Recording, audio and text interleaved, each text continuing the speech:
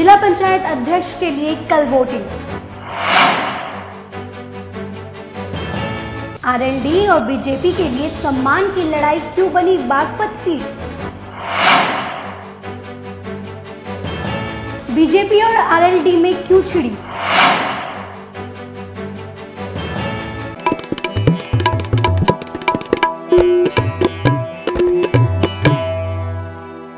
नमस्कार, मैं रुचि पांडे। राजनीति दरबार के खास कार्यक्रम में आप सभी का स्वागत करती हूँ। जिला पंचायत अध्यक्ष के पद के चुनाव में फतह के लिए बागपत जंग का मैदान बनता जा रहा है।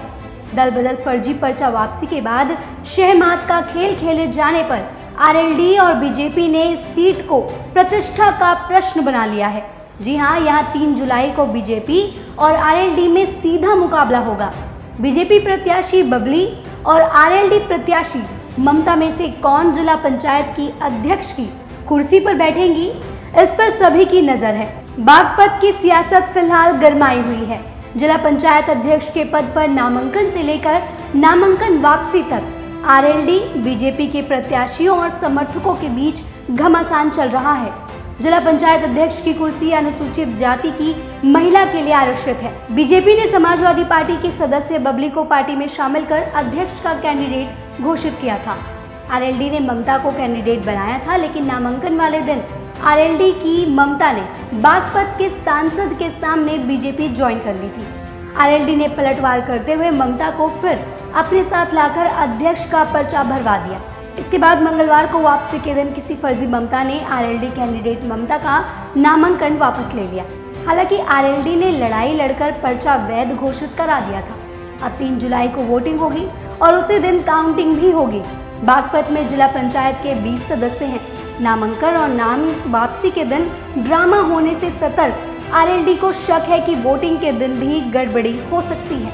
इसलिए आरएलडी ने दूसरे जिलों के पार्टी नेताओं और वर्करों से ज़्यादा से ज़्यादा तादाद में 3 जुलाई को बागपत पहुँचने का आह्वान किया है। मेरठ आरएनडी के जिलाध्यक्ष मतलूब गौड़ ने पार्टी हाईकमान के दिशा निर्देश का हवाला देते हुए कहा कि 3 जुलाई को मेरठ से बड़ी तादाद में वर्कर बागपत पहुँचे।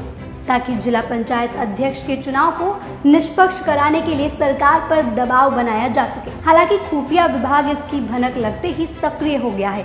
सूत्रों के मुताबिक, उसने तीन जुलाई को टकराव की आशंका जताई है। जिला पंचायत अध्यक्ष पद के लिए मतदान के लिए निर्वाचन आयोग ने मतदाताओं के लिए मतदाता पहचान पत्र के पंद्रह विकल्प जारी किए हैं। इसके साथ जिला पंचायत सदस्यों को मतदान के लिए अपने साथ निर्वाचन का मूल प्रमाण पत्र लाना अनिवार्य होगा। मतदान और मतगणना परिसर में मोबाइल प्रतिबंधित रहेगा। सुबह 11 बजे से दोपहर तीन बजे तक मतदान होगा। शामली में जिला पंचायत अध्यक्ष पद के लिए बीजेपी की मधु गुर्जर और गठबंधन प्रत्याशी अंजलि देवी के बीच कांटे का मुकाबला है। केवल इन्हीं दो ही प्रत्याशियों ने नामांकन कराया है।